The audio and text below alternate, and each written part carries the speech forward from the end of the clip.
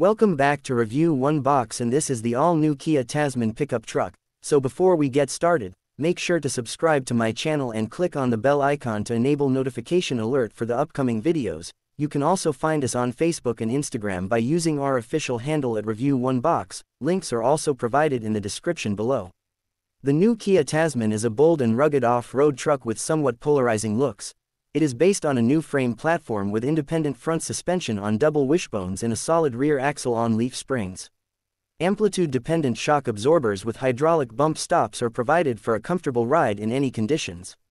The overall wheelbase of the Kia Tasman is 3,270 mm, which is exactly the same as the Ford Ranger, ground clearance is 252 mm, max load capacity is 1,195 kg and max towing capacity is 3,500 kg.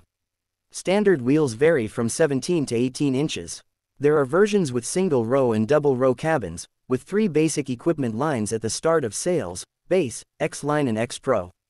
The Kia Tasman will be offered with two engines depending upon the region, a 2.5-liter turbocharged petrol engine, with 281 horsepower and 421 newton-meters of torque, or a 2.2-liter turbodiesel producing 210 horsepower and 441 newton-meters of torque.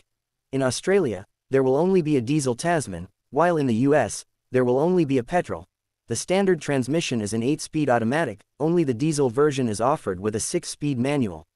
The Kia Tasman pickup truck has a rear or all-wheel drive with an electronically controlled locking rear differential, with sand, mud, snow and rock on the X Pro version.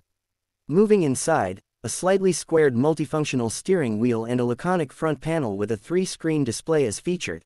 Between the 12.3-inch instrument and multimedia screens, there is a vertical 5-inch screen responsible for the microclimate settings, while under the multimedia screen there are physical rocking keys.